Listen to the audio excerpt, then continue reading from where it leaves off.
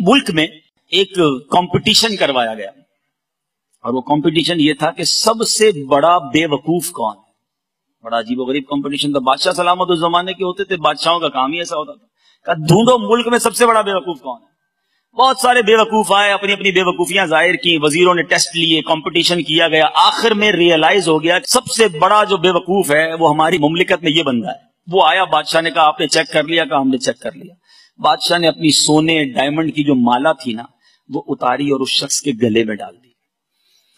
تھوڑے دنوں بعد اس بے وقوف کو پتا چلا کہ بادشاہ سلامت بڑے بیمار ہو گئے اور زندگی کی آخری گھڑیاں ہیں، بہت زیادہ بیمار ہو گئے۔ وہ بے وقوف پہنچ گیا بادشاہ صاحب کے پاس۔ کہ بادشاہ سلامت، کیسے ہیں؟ آپ ٹھیک ہیں؟ کہ بہت حالت خراب ہے اور اب تو یہ دنیا چھوڑنے کی تیاری ہے۔ اینڈ آف دا لائف تھا۔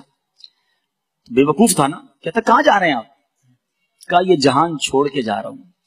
اچھا آپ یہ دنیا چھوڑ دیں گے؟ کہاں بس یہ دنیا آپ چھوڑ دوں گا؟ اچھا بادشاہ صاحب یہ بتائیے، آپ جدھر جا رہے ہو، یہاں تو میں دیکھ رہا ہوں بڑے بڑے گھر ہیں آپ کے بڑے بڑے محل ہیں آپ کے، ادھر بھی آپ نے کوئی محل بنا لیا جہاں آپ جا رہے ہیں؟ بادشاہ افسوس سے کہتا ہے، ادھر تو میں نے جھونپڑی بھی نہیں بنائی ہے۔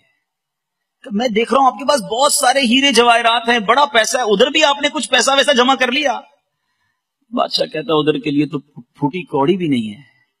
کہ اچھا میں ادھر دیکھ رہا ہوں آپ کے بہت سارے خادم ہیں، ادھر بھی غلام، ادھر خادم، آگے پیچھے سروینٹس ادھر بھی خادم وادم جمع کر لیے؟ بادشاہ کہتا ادھر کے لیے تو کچھ بھی نہیں ہے۔ وہ بے وقوف دراصل عقل مند تھا۔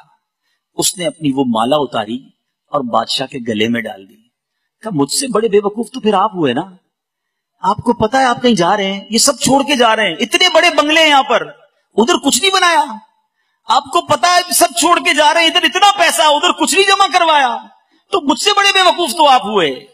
سچ بتاؤ میٹھے اسلامی بھائیوں، یہ میرے اور آپ کے لیے کیسا میسج ہے؟ آج ہم سب کے پاس گھر ہیں، مگر کیا جنت میں گھر بنا لیے؟ آج ہم سب کے بیڈ روم بڑے اچھے ہیں۔ مگر کتنے ٹائم رہیں گے اس بیڈ روم میں؟ تکیا اچھا نہیں ہے یار، ذرا آج کل سافٹ والا تکیا چاہیے۔ بڑا کمر سیدھی رکھنے والا آج کل گدا آ گیا ہے۔ جو کمر کو بھی سافٹ رکھتا ہے، نیند بھی اچھی آتی ہے۔ مہنگے گدے ہونے چاہیے۔ پلان کرتے ہو۔ کتنے سال سو گے اس بستر پر؟ مگر ایک وقت آئے گا جب قبر میں ڈال دیے جائیں گے۔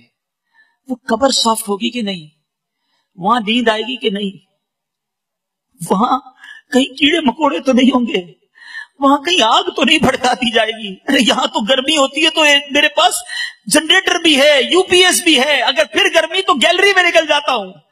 ایسے بھی لوگ ہیں جو گاڑی اسٹارٹ کر کے گاڑی کے اے سی میں سو جاتے ہیں۔ مگر ادھر کدھر جاؤ گے؟ نہ ماں ساتھ ہوگی، نہ باپ ساتھ ہوگا، نہ دوست ہوں گے۔ ہم دو کس کی خبر میں اکیلے ہوں گے۔ خدا را، ادھر کی تیاری کر لو۔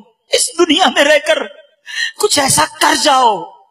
کہ قبر بھی سافٹ ہو۔ صلو علی الحبیب۔ صلی اللہ تعالی علی محمد۔ مجھے اپنی اور ساری دنیا کے لوگوں کی اصلاح کی کوشش کرنی ہے۔ انشاءاللہ عز و جل۔